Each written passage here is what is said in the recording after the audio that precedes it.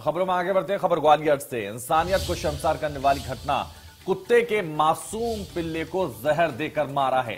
सात पिल्लों की जहर की वजह से मौत हुई है। स्थानीय निवासियों ने किया इंसानियत को शर्मसार। पड़ाव थाना क्षेत्र के खेड़ापति मंदिर के पास का यह मामला है, जहाँ सात पिल्लों की जहर से मौत हो गई है।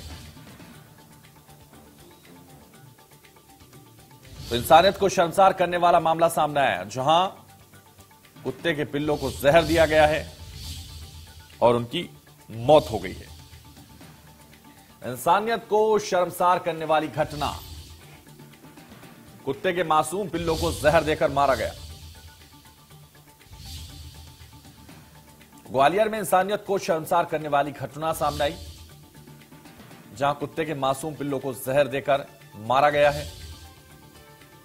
सात पिल्लों की वजह से मौत हुई है इस जहर खाने की वजह से।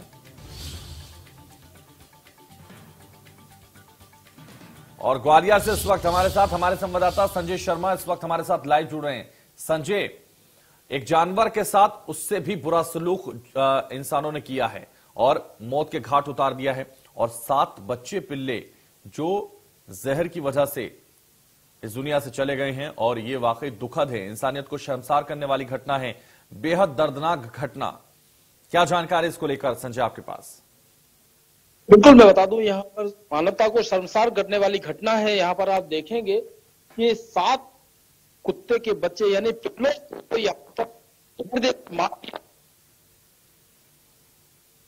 अभी जानकारी ये मिल रही है कि कुछ लोग ये बता रहे हैं कि यहाँ पर इन कुत्तों के लेटरिन करने से यहाँ पर किसी को परेशानी थी तो इसके चलते इनको देर रात जहर दे दिया गया।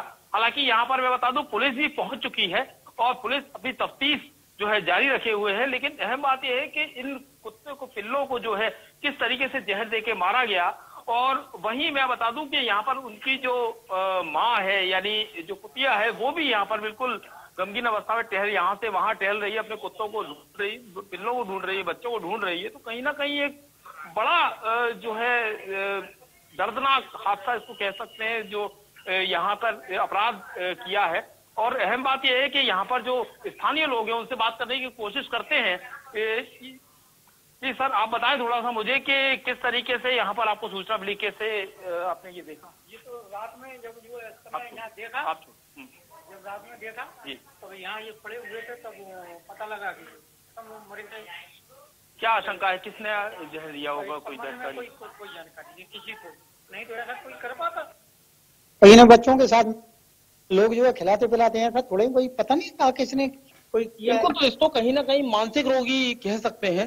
और यहाँ पर जो जो घटना हुई है वो कहीं ना कहीं एक बड़ी दर्दनाक घटना है खासतौर पर बेजुबान जानवरों के लिए। आप बताएँ किस तरीके से सूचना मिली थी क्या हुआ था? यहाँ पर सूचना ये मिली थी सुबह मॉर्निंग में कि चार पाँच पिल्ले हैं जो कि सडनली खत्म हो गए अब उसका जो इन्फॉर्मेशन मिलेगी वो इन्वेस्टिगेशन के बाद ही मिलेगी। पुलिस भी आ गई है। नगर निगम का भी पूरा सपोर्ट है और क्षेत्रीय पार्षद का भी पूरा सपोर्ट है। हम भी चाहते हैं कि इसका इन्वेस्टिगेशन हो और दोषी को पकड़कर कड़ी से कड़ी सजा दी जाए।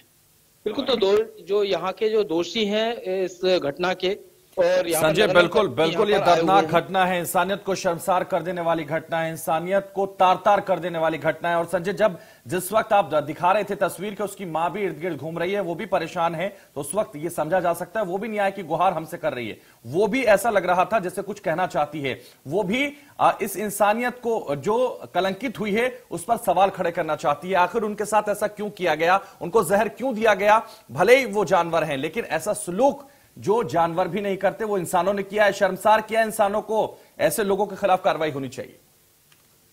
बिल्कुल यहाँ पर जो लोग हैं जो यहाँ पर के स्थानीय लोग हैं वो यहाँ पर कार्रवाई की मांग कर रहे हैं। लेकिन अहम बात यह है कि यहाँ का एक व्यक्ति जिसने उनको जहर दिया है वो भी स्थानीय ही माना जा रहा है क्योंकि मैं बता दूँ किसी बाहर वाले को यहाँ पर आगे जहर देने की क्या आवश्यकता है? यहाँ पर पुलिसकर्मी भी यहाँ पर मौजूद है उनसे बात करने की कोशिश करते हैं। जी किस तरह की सूचना मिली थी आपको? थोड़ा सा बताएँगे। जी। चलिए पुलिस बोलने को तैयार नहीं है। जी आप बताएँ थोड़ा सा मुझे कि किस तरीके से सूचना मिली थी? आप बताएँ महेंद्र सिंह जी किस तरह की सूचना मिली थी? क्या आपने अभी शुरुआत तौर पर पाया है? जो सूचना है थाने से बताया कि कोई जो अपना क्रियापति मंदिर के पीछे किसी ने जानवरों को जहर दे दिया है। तो सूचना तस्दीक के लिए हम आए हैं। हम और भगवान अभी क्या कार्रवाई अभी कर रहे हैं इनको हम शायद पीएम के लिए ले जाएँगे और ये ब्रेड और जो जानवरों को बच्चों को कुतिया के बच्चों को। ठीक है तो बिल्कुल तो यहाँ पर जो है पुलिस अपनी कार्रवाई कर रही है, लेकिन अहम बात यह है, कितने लोगों को यहाँ पर जो है कब तक कार्रवाई दोषी को मिल पाती है, ये देखने वाली बात होगी। हालाँकि मानवता को तो यहाँ पर शर्मसार करने वाली घटना हुई है, लेकिन इसके बाद में अब कब तक कार्रवाई हो पाती है? बिल्कुल सवाल यही है संजय अब किन धाराओं में इनके खिलाफ मुकदमा लिखा जा रहा है और क्या समझ में आ रहा है? कौन वो व्यक्ति थे जिन्होंने जहर दिया? किनको परेशानी थी? कौन ऐसे लोग हैं जो इंसानियत को शर्मसार कर रहे हैं जो जानवरों पर बेरहमी से इस तरह की घटनाओं को अंजाम दे रहे हैं? कब उन पर कार्रवाई होगी? क्या ये सवाल पुलिस अधिकारियों से पूछे जा रहे हैं? या पुलिस अधिकारी क्या कहना चाह रहे हैं इस पूरे मामले में? कहाँ शुरुआती जाँच में अब तक वो पहुँचे हैं?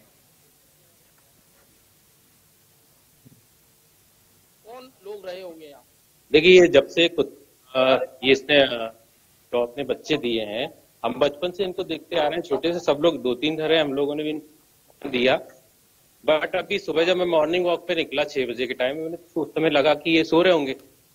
दो मिनट, पाँच मिनट होते आज दस, ग्यारह बजे समथिंग है तो आसपास कोई स्थानीय होगा जिसने व्यक्तिगत दुश्मनी निकाली है छोटे बच्चों से नहीं इतने छोटे छोटे बच्चे की अपने बच्चों को भी अब देखोगे तो उसमें भी एक दया का भाव आ जाएगा। तो इतने तो कोई इतना ही निर्दलीय व्यक्ति होगा जिसने इस टाइप का एक उपक्रम किया हुआ है। तो इसीलिए हम लोगों ने सबको फ़ोन किया है आप लोगों को भी बुलाया है। बिल्कुल तो कहीं ना कहीं संजय संजय ये और पूछिए इन स्थानीय लोगों से संजय ये और पूछिए कि ये सब बता रहे हैं कि कोई ना कोई स्थानीय व्यक्ति हो सकता है कोई ना कोई इनसे परेशान हो सकता है लेकिन वो हो कौन सकता है? ये क्यों समझ में नहीं आ रहा? पुलिस जाँच कर रही है, लोग बता रहे हैं, लेकिन कौन वो व्यक्ति है जिन्हें परेशानी इन पिल्लों से थी, इन अनजान जानवरों से थी, इन जानवरों से जो बेजुबान जानवर हैं जो अपनी समस्या तक नहीं बता सकते, जो ठंड में ऐसे घूमते रहते हैं, जो परेशान हैं, उनसे थी? ये पूछिए इन लोगों से। और बात करने की कोशिश कर लेते आप ये थोड़ा सा बताएँ, किस किन किन लोगों को परेशानी थी यहाँ पर? किन किन कौन कौन इनसे परेशान था? क्योंकि ये सूचना आई है कि जानकारी ये मिली है कि लैट्रिन करने से लोग परेशान थे तो कौन से ऐसे लोग हैं? कोई ऐसी जानकारी आपको? देखिए ये लोग यहाँ पे लैट्रिन बाथरूम करते थे तो पर्टिकुलर जहाँ पे आप देख रहे हैं इक्कीस बाईस ये तेईस इन लोगों के सामने ही ये पड़े हुए हैं। अब व्यक्तिगत रूप से तो मैं ये नहीं बोल सकता कि पर्टिकुलर किसने किया है ये आप लोगों को देखना पड़ेगा या आप ही को सर्च करना पड़ेगा। सीसीटीवी कैमरे में कोई ऐसी लगे हुए हैं चारों तरफ़ अगर स्थानीय पुलिस चाहे तो इन कैमरों की रिकॉर्डिंग निकाल के देख सकती है कि किस टाइप का उसमें सब दूध का दूध पानी का पानी हो जाएगा। बिल्कुल तो यहाँ पर पुलिस को भी गंभीर होना पड़ेगा और जो यहाँ के रहवासी हैं उनको भी सतर्क रहना पड़ेगा किस तरीके से कोई संजय संजय संजय संजय मैंने पढ़ा है एक दार्शनिक ने लिखा है कि वो हमेशा जब दार्शनिक लोगों से मिलता था तो उसको कुत्तों पर प्यार आता था उसको जानवरों पर प्यार आता था ऐसा दौर उसने देखा। तो ये वही दौर है या फिर लोग अब जो है कुत्तों से भी बदतर हो गए जानवरों से भी बदतर हो गए इस तरह का व्यवहार कर रहे हैं? बिल्कुल आपका कहना बिल्कुल सही है क्योंकि कुछ महीने पहले ही ग्वालियर में एक बहुत इंसानियत को बिल्कुल आईना दिखाने वाली घटना हुई थी।